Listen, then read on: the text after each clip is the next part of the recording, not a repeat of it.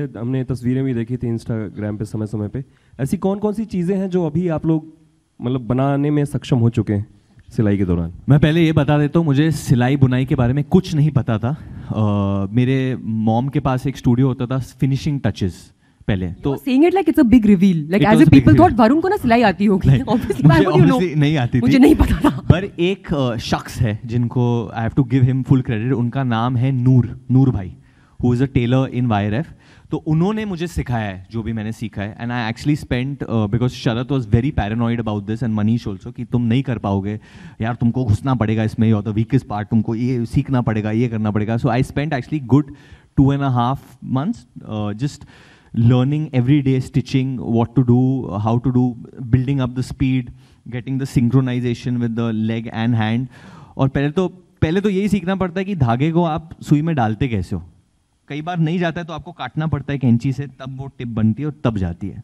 तो इससे आपको पता चल गया होगा कि मैं कितना माहिर हूँ इन चीज़ों में। मैंने बुनाई की है, एम्ब्रॉयडरी करी है, सिलाई नहीं सिलाई नहीं करी। मुझे बहुत मज़ा आया। एक्चुअली बचपन में ऐसे सी मैं दादी वो बहुत क्रोशे एम्ब्रॉयडरी बहुत किया करती थी। उनकी इनफैक्ट दुकान भी है देहरादून में। वहाँ पे जाके प्लीज़ जाके स्वेटर खरीदिए स्वेटर खरीदिए स्वेटर खरीदिए। So she use to do crochet embroidery my mother has learn also so my mom is very good with like सिलाई and you know embroidery in fact वो सिलती भी थी कपड़े। तो कहीं ना कहीं आई फील लाइक उनको देख देख के देख देख के यू नो वो होता है। Some kind of a memory is there so when I started to do embroidery, I, I think I picked it quite quickly. I think Sharath was very impressed with my uh, initial skills of doing embroidery. Uh, and even the, I think, uh, I don't think they used me enough doing embroidery in the film. I, I, felt like I worked too hard and like not enough. Like I want to, uh, yeah?